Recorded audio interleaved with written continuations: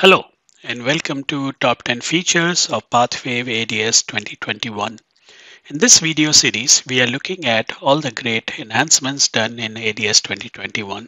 In this video, we will look at a new concept called compact test signal and distortion EVM.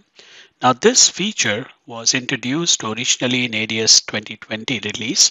However, in the new release, a lot of enhancements has done to the algorithm a new capability added. So let's look at that. The concept of using compact test signal or what we call as CTS in short is to use a time slice, a small time slice from the overall modulated waveform which represents the similar frequency signature and statistical distribution in terms of CCDF. A good guide to select the right time slice is simply using this formula n divided by the bandwidth, where n is your number of tones in the modulated waveform and the bandwidth. This gives you a very good estimate to start with, and later you can adjust it. Now, where is the location of this time slice? Designer don't need to worry. That's the job of ADS algorithm. It searches for the entire waveform and tries to find the best time slice, which is giving you the right CCDF information so that you get an accurate result. In terms of comparison with the traditional data flow simulation, such as Engine Inside SystemVue, and when we compare it with our distortion EVM technique, this technique is very accurate. And here you can see the, the EVM over wide input power range tracks itself very, very nicely.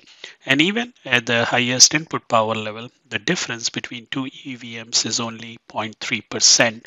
However, if you compare the simulation time, it will be order of magnitude faster than performing a full time domain uh, or modulated analysis using you know the regular envelope technology. So let's see how easily we can do that inside ADS. And again, I will have more detailed tutorial on this topic where we will go through all the nitty gritties of this. Here we have a sample circuit level amplifier. So if you push in, we have a circuit level amplifier being set up and we have uh, set up an envelope simulation to perform modulated signal analysis. Now here, if I just hit the run button, this source basically is feeding the modulated signal, which is in this case 5G NR FR1 100 megahertz wideband signal QPSK constellation and this waveform file was saved using SystemVue. And once the analysis is finished, and now you can see it only took around 18 seconds to perform the complete modulation analysis. On the data display here, you have the power spectrum where we are using the regular equations as you always do to compute output power, power gain, and plotting the output spectrum. However, on the right hand side, you can see a function in data display distortion underscore EVM, and we are feeding the input node and the output node, and one is simply representing the fundamental. This equation returns three values. First is the EVM percentage. The second is this nonlinear um, you know, distortion part. And the third one is the linear, which you can see two segments here. One is the linear part of the spectrum and the red trace is the nonlinear part. And here is your EVM, which in this case is around 18%. Now this waveform file is being read by P1 tone, which is another interesting change or enhancement done in ADS 2021.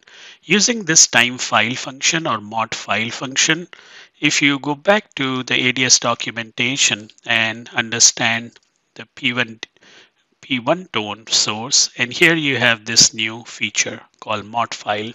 And you look at mod file it has a very simple format.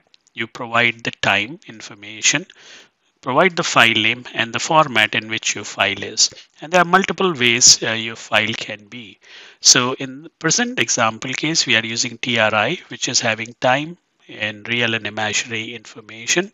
And if I show you the text file, it has information of modulation distortion or the modulated waveform till one millisecond, which corresponds to 245,000 number of samples.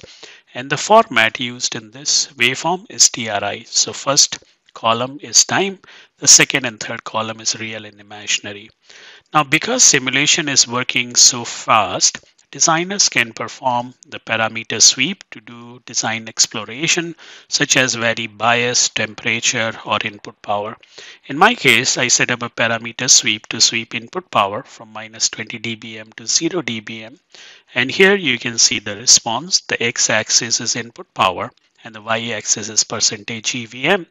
And we can see how EVM is getting worse with the increased input power when amplifier is going into compression. Another enhancement done in ADS 2021 is to have a new function here called distortion EVM versus time. So in this setup, I perform 40 microsecond of sweep and in two microsecond slot, we can see how EVM is changing because all your modulated waveforms are time varying envelopes. Obviously the EVM performance will change with respect to time. And here we can see how EVM is getting distorted against the time segments.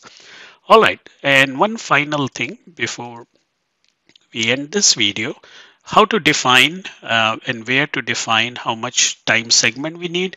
That's inside envelope controller. If you double click on it, you can simply enable the compact test signal enter the time slide and that's it so it's so simple to use that every uh, you know active circuit designer designing power amplifiers or transmitter can go ahead and use it hope you like this uh, feature inside ADS 2021 and it will make your life easier especially if you deal with various modulation standard of 5G, Wi-Fi or radar or any kind of modulation standard. Thanks for watching and go ahead and give it a try and leave the comment below this video. Thanks a lot.